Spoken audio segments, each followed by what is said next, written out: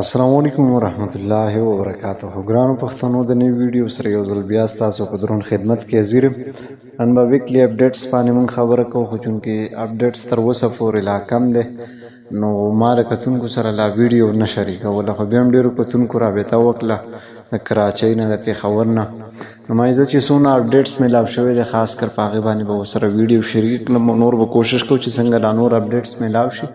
نو ان شاء الله په سیکنډ ویډیو کې به در سره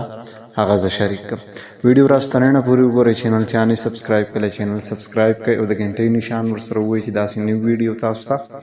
وخت په وخت ملاویږي راځو په پیښور کې پناس سینما کې د 5 جنوري نه دارباز خان په ډایرکشن کې فلم لګیدلې ده ستمګر چې ډیر زیات یو کلاسیکل فلم ده بیا د پنج جنورۍ نه په ابشار سینما کراچۍ کې هم د ارواز خان په ډایرکشن کې فلم لګېدلی دی بدماشي به درنه پاتې کم ورسره د پنج جنورۍ نه په مسرت سینما کراچۍ کې هم یو کلاسیکل او یو بهترین او یو ښه فلم لګېدلی دی ریکشې والا چې دا هم نوی فلم دی دونه زوړ نه دی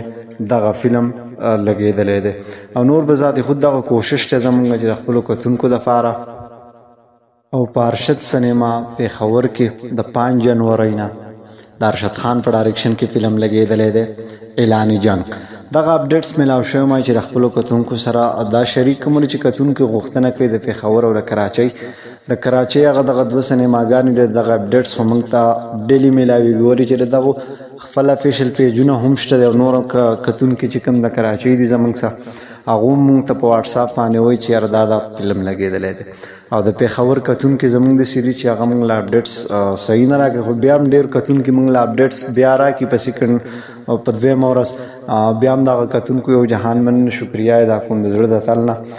چې زموږ سره کومک کوي زموږ سره ملاتړ کوي او ورسره ښه ښه کمنټس کوي لایک کوي نو دا غي یو جهان مننه دغه د ویکلی اپډیټ پس ویډیو ان شاء الله پوره نه و پر روانه ویډیو کې چې کوم اپډیټس ملاو شي بیا به در سره هغه شریکو سپاغ راکې اجازه تلوي الله پامان